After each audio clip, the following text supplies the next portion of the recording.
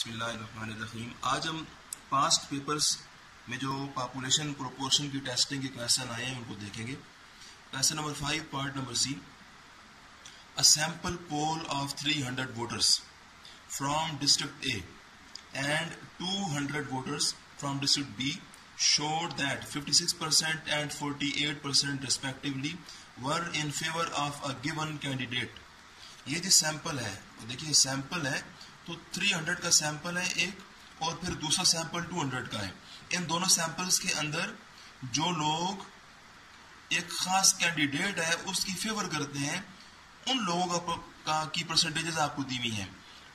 यानी कि उनके प्रोपोर्शन दिए हुए हैं। तो 300 वोटर्स में से जो लोग फेवर करते हैं उनकी परसेंटेज ये है और 200 लोगों में से फेवर करने वालों की परसेंटेज ये है। At significance level of 0.05 test the hypothesis that there is a difference between the district.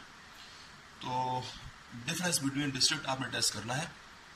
जारी बात है डिफरेंस से मुराद वोटर्स जो फेवर करते हैं, उनमें डिफरेंस है। यानी डिस्ट्रिक्ट ए के अंदर जो फेवर करने वाले हैं और डिस्ट्रिक्ट बी के अंदर जो फेवर करने वाले हैं, क्या वो उनका प्रोपोर्शन बराबर है या बराबर नहीं है, ये बात आपको टेस्ट करना है। अच्छा जी। तो ये बातें लिखते हैं।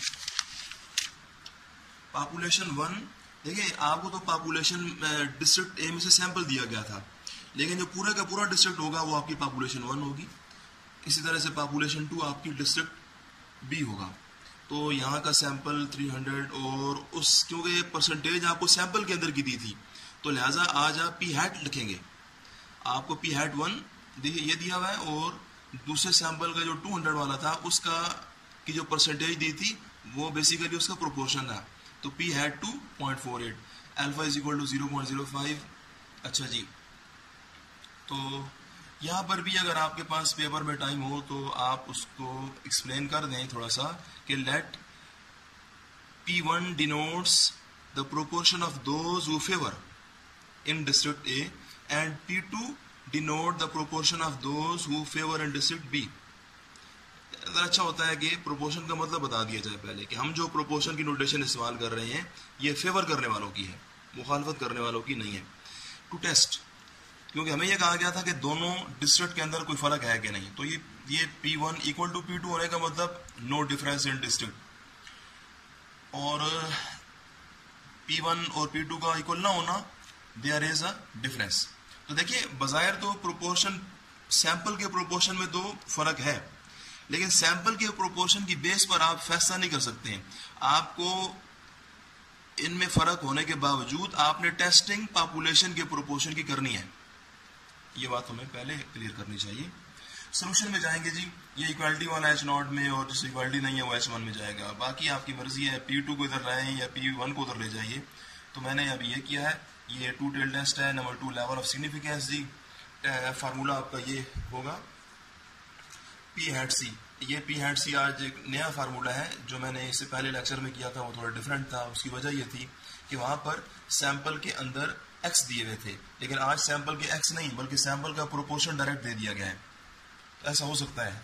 कभी सैंपल के अंदर एक्स देते हैं और कभी सैंपल के अंदर प्रोपोर्शन ही दे देते हैं सैंपल का। तो बहरहाल जी, जब प्रोपोर्शन दे तो ये पी हैड सी का फार्मूला है। एन की जगह वैल्यू पी हैट वन जो दिया हुआ था पुट किया, इसी तरह से एन टू की वैल्यू और पी हैट टू की वैल्यू मल्टीप्लाई किया पी हैट सी आ गई। अब पी एट सी की मदद से क्यू एट सी आएगा जी वन माइनस पी सी करने से, ये आगे किया गया है। ये जब आ जाएँगी तो ये वैल्यूज़ आपने सारी उठाकर यहाँ पुट करनी है। तो ये मालूम है आपको कि ये जो P one minus P two है, ये हमेशा एच नॉट से आती है जी। यहाँ पर ज़ीरो है, सारा इसको ज़ीरो कर देगा। वैल्यूज़ बारह पुट करनी है आपने। तो इस फार्मूले के अंदर जब वैल्यूज़ पुट करते हैं तो मेरे पास ये चीज़ आ रही है, इस तरह से। वैल्यूज़ पुट किया, सारा सॉल्व किया जेड की वैल्यू आ गई। अब ये मैंने आगे लिख दी है आप खुद पढ़ लें इसको जरा और से। क्योंकि ये काम हम बहुत दफ़ा देख चुके हैं। आपको ये टू टेल टेस्ट है। जेड अल्फ़ा की वैल्यू पेज नंबर 138 पर आपको ये मिलेगी। तो माइनस जेड अल्फ़ा हाफ़ के लिए आप इसी वैल्यू को माइनस के साथ देखेंगे ये फिगर बनाएँगे, माइनस का इधर प्लस का इधर, दोनों के बीच में एक्सेप्टेंस रीजन है बायर रिजेक्शन रीजन है, जी। तो आप अपनी वैल्यू देखिए, आपकी वैल्यू जो है वो वो इन दोनों पॉइंट्स के बीच में आ रही है, यानी एक्सेप्टेंस रीजन में जा रही है। तो आप करेंगे एक्सेप्ट एच नॉट ठीक है जी। अगला क्वेश्चन देखते हैं। ये नेक्स्ट पेपर है जी ये एनुअल 2014 ये पेपर का क्वेश्चन यहाँ पर है। तो ये कह रहे हैं फोर का B part an auditor claims that claim है तो उसको टेस्ट करना होगा अभी। Claims that 10% percent of customers ledger accounts are carrying mistakes of posting and balancing तो कह रहा है कि जो 10 परसेंट मिस्टेक्स होती हैं, वो पोस्टिंग और बैलेंसिंग की होती हैं। अच्छा जी। Random sample of 600 was taken to test the accuracy of posting and balancing अब सैंपल लिया जा रहा है जी 600 का। For, और सैंपल के अंदर क्या हो रहा है कि 45 मिस्टेक्स आर फाउंड तो इस 600 के अंदर 45 मिस्टेक्स सैंपल में पाई गई हैं। Are the sample results are consistent with the auditors claim रहे जब सैंपल के रिज़ल्ट आए हैं ये 600 में से 45 गलतियाँ होना क्या ये बात ऑडिटर के क्लेम को आ, के साथ कंसिस्टेंट है कि नहीं? फिर यह use 5 percent level of significance तो अल्फ़ा हो गई जी। तो भाई कंसिस्टेंट होने का मतलब यह है कि अभी आप ये करिए कि जो क्लेम है उसका 10 परसेंट मिस्टेक्स जो है वो पोस्टिंग और बैलेंसिंग की हैं इसको आप लीजिए एच नॉट में यानी proportion of mistakes of posting and balancing is equal to ten percent ये टेस्ट कीजिए। अगर तो सैंपल ने एक्सेप्ट कर लिया कि भाई जो आपका प्रोपोर्शन है वो टेन परसेंट के वाकई बराबर है इट मीन्स कि सैंपल रिज़ल्ट उसके साथ कंसिस्टेंट है। लेकिन अगर सैंपल ने जो प्रोपोर्शन टेन परसेंट का है, उसको रिजेक्ट कर दिया कि भाई सैंपल की बेस पर हम डिसीज़न अगर ये दें कि ये जो क्लेम है आपका, ये गलत है इट मीन्स कि सैंपल इसके साथ कंसिस्टेंट नहीं था। ये जी।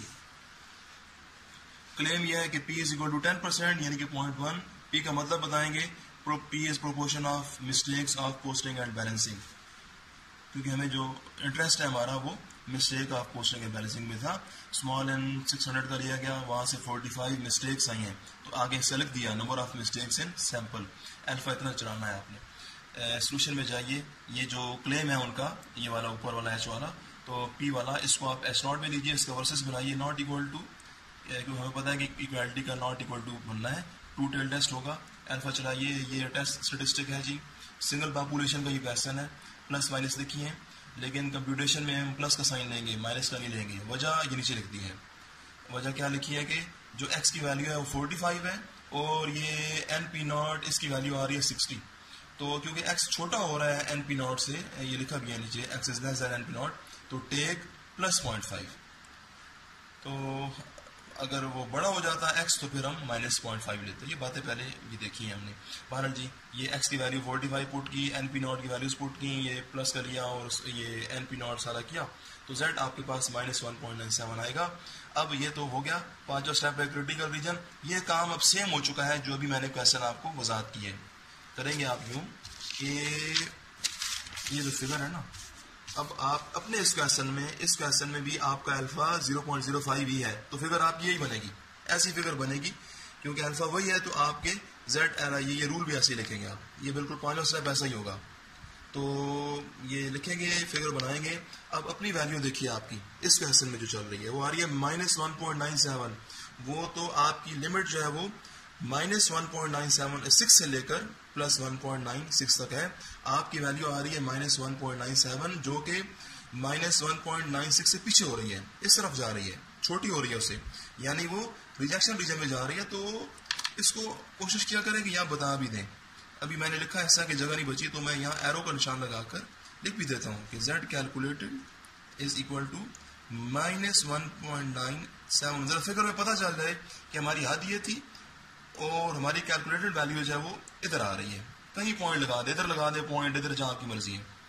तो क्योंकि आपकी की वैल्यू जो है वो रिजेक्शन रीजन में जा रही है तो डिसीज़न दे दीजिए रिजेक्ट एच नॉट फिर काम अगला देखेंगे, अल्लाह हाफिज़।